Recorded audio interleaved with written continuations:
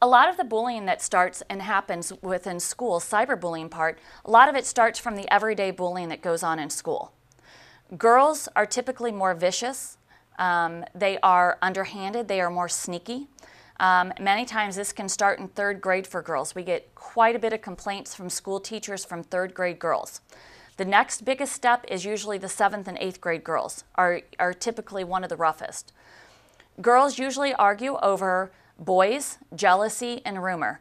Those three main things are the ones that girls absolutely will do anything and everything that they can do to get at another girl if they feel that they are being violated. Sometimes they do it for retaliation. Sometimes they do it for that peer inclusion because maybe they'll fit into another group. Maybe they're doing it because it's that powerful feeling. It makes them feel good about it. The boys, boys still do the physical, the pushing, the hitting, the shoving. Um, they do a lot of it directly in the face and, you know, face to face, and then they're kind of done with it. But there's also another group of boys, another group of boys that think it's funny to pick and make fun of people with different sexual orientations. Um, they think that many times they have the right because if somebody dresses that way or acts that way, you know, don't come around me and who do you think you are and you deserve it. And, you know, I try to talk to them about that. I don't care what the sexual preference or sexual orientation is. It doesn't matter what your skin color is, what your religion is. It doesn't matter if you have a stutter. It doesn't matter if you have a disability. Every single person has the right to be able to go into school, to walk down the street, to not be retaliated and harassed for their choices. We don't like change in this world. We don't like anything that's different. We're comfortable in our own skin and our own group that's around us. Anybody that stands to the left of that group that we're comfortable with, all of a sudden they're the weirdos, they're the freaks. Boys think that it's funny to consider con continually call kids gay, fag, homo, queer. They usually pick on the boys that they know are not going to fight back to them. And they don't see anything wrong with this. Even though the fact is that children who are have different sexual orientations are bullied quite a bit more, they are also the ones who have a higher uh, rate of suicide because of the constant harassment that they go through. And many times there's such a small group that they feel like there is no other place to go. No one understands or no one gets them. When a child is being bullied, there are many warning signs. Um, you can see that one, if these are things that maybe if your child has exhibited before and maybe they start changing that pattern. Maybe you have a child who always loved to go to school and all of a sudden they don't want to go to school or they loved riding the bus and they're trying to avoid the bus situation now or they come home with torn clothes or missing items. Um, they come home and they are starving before and they said they didn't get a chance to eat lunch. And you see that the lunch account money is coming down but they're still starving. Something's going on. Their grades start dropping. Um, they start you know isolating themselves pulling back not wanting to hang out with the same friends or go to that birthday party. These are signs. Not every single one sign. Some kids go through things at different times but if you start noticing a difference in your child's behavior absolutely take the time sit down and talk to them. And sometimes it's listening to them and, and hearing what they have to say, and maybe there are some things that you can talk through with them. We talk to students also within schools about the bystander role, um, the ones who can be the allies and the upstanders in a school. These are kids who are not the victims and not the bully themselves. It is everybody else that is around that situation that either stands there and mocks it and laughs, eggs it on, the ones that stand there and do absolutely nothing because they're not sure of what they should do, and the ones that kind of do the rubbernecking and walk by and they, they see it going on, but it's not my problem. I'm, I'm not getting involved with that. All of them have a role to play. All of them have the ability, they have the chance to step up in the proper ways. We don't want them jumping in and getting pummeled and, and, and hurt. There are simple steps and simple things that they can do. If it is a safe place and maybe it's just verbal, they can go up and say, tell somebody if they're strong enough within themselves to be able to say, you know what, knock it off. Stop talking to them like that. You know, simply even say to the person, you know what, just come on, don't, don't worry about what they say.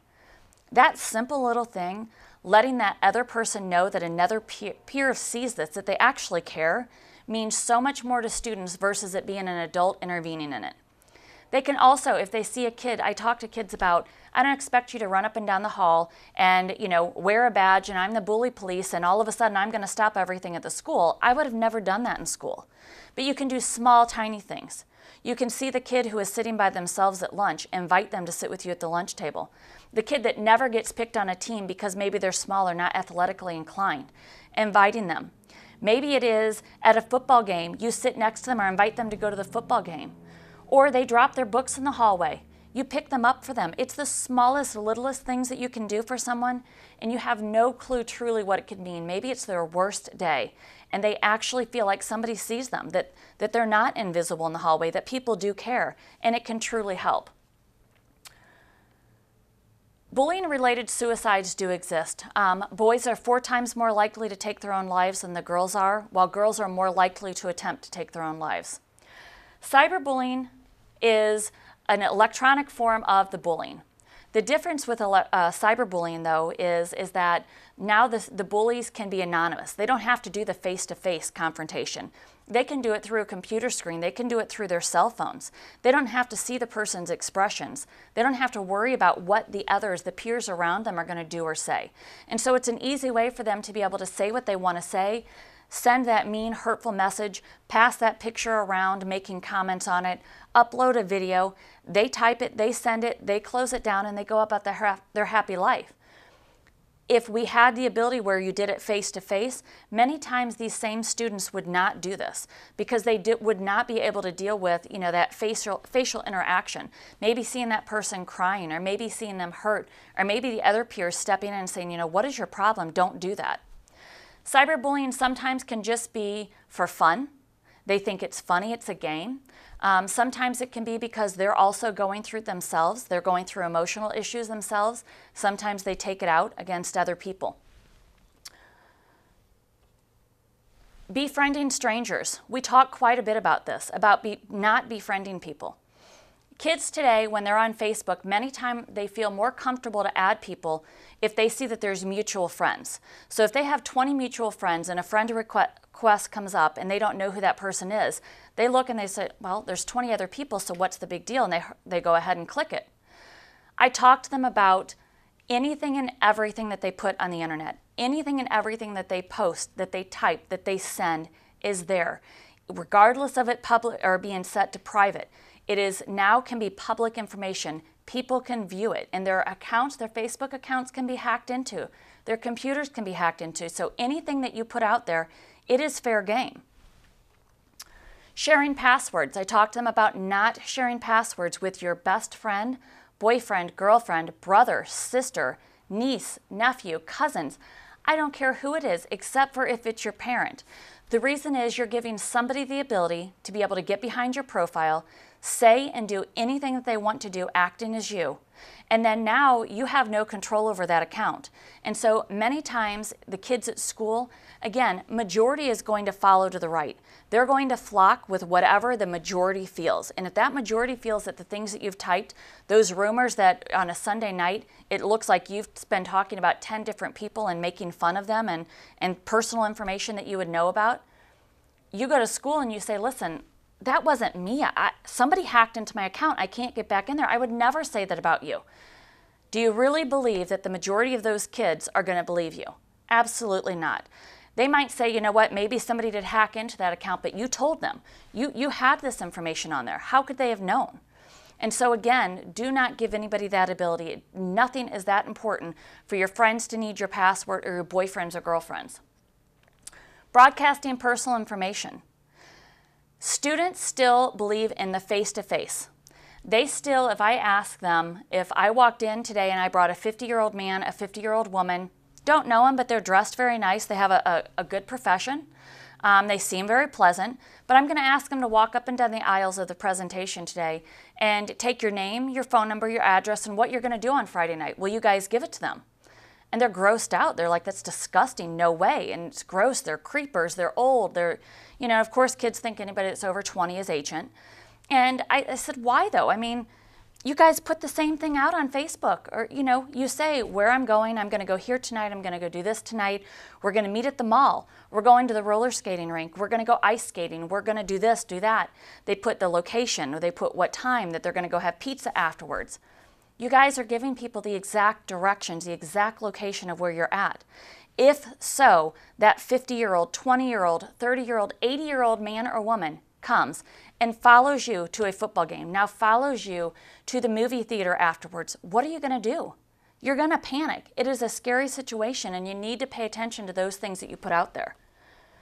Sexting, another issue that's going on in middle schools and high schools.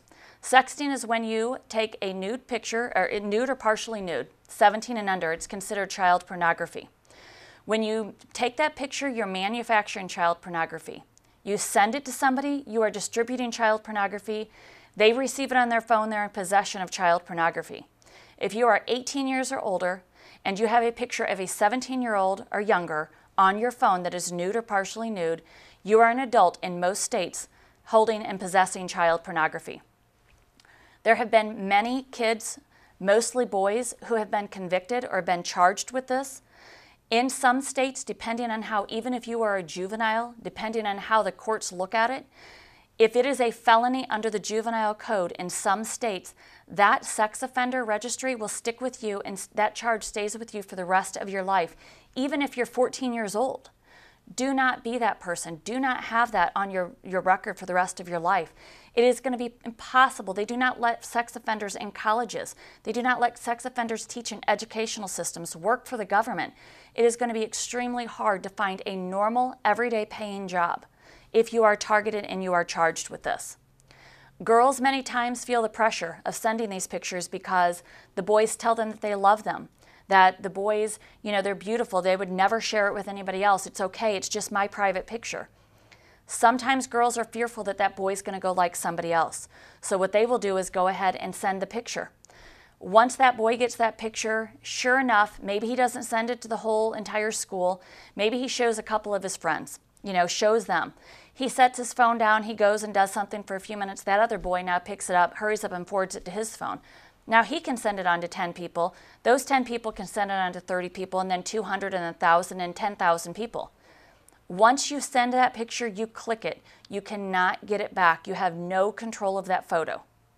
And boys are sending photos of themselves to girls. Many times this is happening in middle school and high school. You both need to understand as boys and girls you both use retaliation against one another. So next week when you're not together and one of you breaks up and hurts the other's feelings, now they have that picture that they can threaten and say, listen, I'm going to send it to somebody else. I'm going to send it to your mom. I'm going to send it to the school. Do not do something that you have no control over because not only legally, but your reputation is something that is hard to get back once it's kind of been implanted in kids in school. Sextortion is now when these pictures land in the hands of sexual predators. Sexual predators or even anybody online that can hack into your computer, that can look and see and turn on your webcam. They can get in, hack into your Facebook account and see if you have any um, racy pictures. They can hack into your account and then also now turn your webcam on so that they can take pictures of you throughout the day. Once they have that information, now they can tell you and threaten you and extort you and say, listen, you know what, if you don't send me more racy photos, more videos, I'm going to send this out to everybody on Facebook that's your friend. I'm going to send it out to everybody that's on your email. There have been numerous, numerous charges of boys and men who have been charged with this, who have broken into the accounts, who have done these same typical things. Suicide, again, is a third leading cause of death for kids 15 to 24. There is about one every 15 minutes in the United States, which is about 90 total during the day.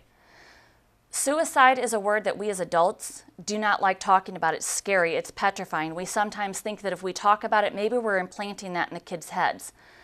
Truly, children today are exposed with so many different things. They are aware of this. They hear stories. There have been documented records of children as young as five years old taking their own lives. There has definitely been, um, you hear it in the national news about kids who are 9 and 10 and 11 years old who are taking their own lives. We have to talk about this topic. We have to be able to let them know that you are the trusted adult that they can go to. You want to make sure that if they are talking about things, if they are all of a sudden talking about it, they're writing about it, they're giving away their prized possessions. It's something to take serious. Don't ever, ever think that a child who is saying, I want to kill myself or I want to hurt myself is just trying to seek that attention. They're trying to get their way. Maybe mom or dad wouldn't let them have the keys for the car this weekend, and now they're going to threaten this again. And you think, you know what? You cried wolf 10 times before. I'm not playing these games again. I'm not dealing with it. I understand it's hard to determine are they kind of trying to manipulate you or are they truly feeling this way? Here's the thing you never, ever, ever take that as are they manipulating you? They are reaching out, but there's a reason that they are reaching out. And it certainly is something that you want to get looked at by a professional and get evaluated in the proper way. The teenage brain. Um, we started looking at this, and we have the president of the foundation as a psychologist and graduated from Pepperdine University and has a lot of knowledge um, with the teenage brain and why it reacts in certain ways. And I was really curious with our foundation of why are kids doing some of the things that they're doing? Many times we as parents or, or teachers have said, you know, to these kids, what are you thinking? You know, do you have a brain? What, you know, I thought I taught you better. I mean, that's something that I've, I've even said to my daughter, you know, come on, I thought you, I taught you better than that. You know better than that. What is, what is wrong with you? And so the National Institute of Health um, project studied over 100 uh, young people um, as they grew up during the 1990s. What they show is that our brains undergo a massive reorganization between our 12th and 25th years that the brain is developed almost to 90% of its capacity by the time a child is are six years old. They say that they act that way because their brains aren't done, that teens' brains are actually, uh, uh they're in progress, they're still growing. Um, teens may understand the risky behaviors and the consequences that maybe unprotected sex and drugs and these types of things carry. But honestly, sometimes that risk, that pure risk with their friends, is worth more than and worrying about the consequences. Impulsivity, impulsivity generally drops throughout life, starts at around the age of 10, but truly peaks at around the age of 15. Laurence Steinberg, a developmental psychologist specializing in adolescence, um, shows that peer relations are not a sideshow to kids. They are the main show for kids. That during that time that they are in that school, that honestly, that peers mean so much more to them. There is no other point in time in their life that peers will mean as much as they do during those school years. Some brain uh, scan study and start over. You ready? Okay. So some brain scan studies in fact suggest that our brains react to peer exclusion much as they respond to threats of physical health or food supply. At a neural level, they perceive social rejection as a threat to their existence. So sometimes when you have that 15 year old that is hysterical because the boyfriend broke up with them, or the girlfriend didn't get invited to the party, or they think that their life is over to them at that period of time, it truly feels that way. They literally feel like no one gets them, life is absolutely over with. But again, it's because of the development of their brain, it's the way that they're able to take things in. The things that we can do um, to try to change this, we're not going to ever stop bullying 100%. We're not going to ever stop cyberbullying 100%. There are many things that we can do. One is we want to make sure that we can cultivate a positive school climate. We know that if from the top through to the bottom, and we're talking about from the school board to the superintendent to the administrators, down to teachers, down to school staff and aides, and I'm talking about janitors, I'm talking about electricians that are in the school, school bus drivers, Anybody that is going to interact with children during the school day must be trained properly and must be on the same page to be able to start showing that overall school climate. Once children feel that a school and that climate is going to not accept or tolerate these things, and that they are going to have places and, and plans in place to be able to deal and assess these situations, children have a much better attachment to school versus ones that are, are, are, completely combobbled all over the place. That, you know, one school district has this policy and the next school principal doesn't have the same philosophy. philosophy. And so we know that this has to be something to cultivate a positive school climate. These are tips for educators, but also tips for parents. If you want to get involved with your child to understand, be involved. You don't want to be that helicopter parent. You don't want to be that parent that is, it is my way or the highway. You don't want to be the parent that is their best friend. And you don't want to be the parent that's non existent. Try to be that involved parent. Okay. Try to be that involved parent. So, one, understand what technology you're giving your children. Understand the cell phone. Does it have picture messaging? Does it have internet service on it? Understand if they have a Facebook, what are the social networking sites that they have? Get the passwords. If you have younger children, start early. Start getting house rules set down. Sit there with your children and talk about what the rules are, what technology you're giving them, how they work. Post those rules up next to the computer on the refrigerator once you come up with them, that we will have 20 minutes in the evening, you will be able to have free time on the computer to play games. And once you come up with all that, if you post it, it is going to be much easier to maintain it versus it being thrown in a junk drawer and out of sight, out of mind. Make sure that you understand that once you give these things to your children, you have to be truly understanding that if you give it to them and give it free rein, they're going to think that it is absolutely their birthright, not a privilege you have to make sure that you're consistently setting up that if you say no, you cannot have a cell phone and sleep with it at night, it has to be left in the living room charged, you have to stick with that because if they get it in their bedroom, you're, you've lost a lot of the rest of it.